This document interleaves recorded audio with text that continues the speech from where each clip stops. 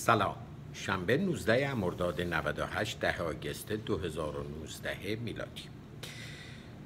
دستگیری حسن میرکازمی تایید شد. او که لباس شخصی مسلح در زمان جنبش سبز بود و عکس او سوار بر موتور در حال سرکوب مردم پخش شده بود کسی که در همون زمان هم مطرح شد که مدیرعامل دنیای فلزه و دستیار بابک زنجانی. بعدا معلوم شد هست بابک زنجانی از او عنوان بسیجی اقتصادی نام برده بود. معلوم شده که میلیاردها پول بانک ها رو تصاحب کرده و در واقع یک بدهکار بزرگ بانکیست به همراه چند نفر دیگه در پرونده بدهکاران بانکی بازداشت شده.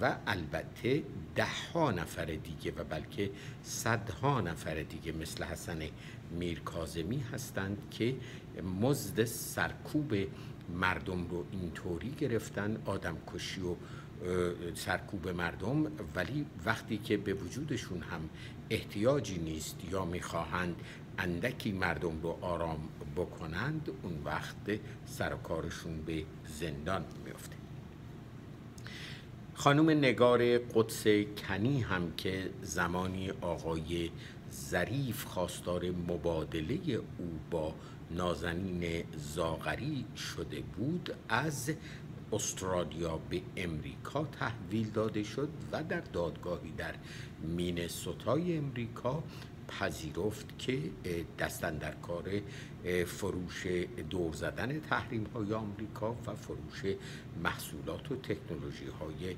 مورد تحریم آمریکا از طریق یک شرکت در مالزی به, به ایران بوده و در ازای اینکه وکیل او توافق کرده که او اعلام کنه که این جرائم رو, من... جرائم رو مرتکب شده ولی سالیان زندان او که گویا از 2017 در زندان استرالیا بوده جزو زندانش محسوب بشه. به این ترتیب دیده میشه که ادعای مبادله او با نازنین زاغری که آقای ظریف مطرح کرده بود اکنون کسی که او خواستار مبادله او با نازنین زاغری شده بود خودش رو مجرم می‌دونه. همینطور جواد سلیمانی مدیرعامل گروه سایپا هم در پرونده 25 مدیر سایپا که شش نفر اونها هم در بازداشت هستند موقتا برای شش ماه ممنوع خروج شد. در مورد هاشم یک هزار مدیرعامل ایران خودرو هم بانک مرکزی ابلاغ به بانک ها کرده که کلیه حساب های او بسته بشه و حتی گفته میشه او هم ممنوع خروج. بنابراین دیده میشه از اعوان و انصار جمهوری اسلامی جز تخلف دزدی اختلاس و فساد صدای دیگری به گوش نمی‌رسه. دویست نویسنده و شاعر و هنرمند ایرانی بیانیه‌ای رو اعتراض کردند و در اون به حکم هشت ماه زندان برای نیما سفار شاعر و نویسنده 52 ساله اهل گرگان اعتراض کردند.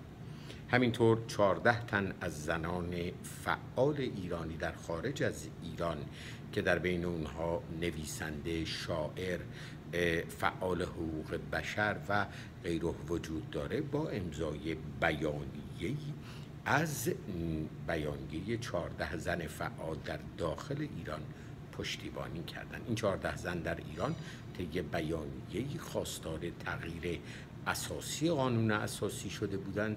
همینطور استعفای رهبری که در نامه 14 فعال دیگر مدنی خواسته شده بود مورد تایید اونها هم بود. اما در محمود آباد بعد از اینکه دادگاه قطعی کرد حکم پس گرفتن 6000 متر مربع زمین از عراضی پادگان نیروی هوایی رو عده از مردم به همراه نیروهای ضابط به پادگان نیروی هوایی حمله کردند و درگیری شده. هنوز معلوم نیست که کی تیراندازی کرده مقصر کیست ولی دست کم تا الان گفته شده دو نفر کشته شدند و چهار نفر هم زخمی شدند با امید پیروزی ایران و ایرانی.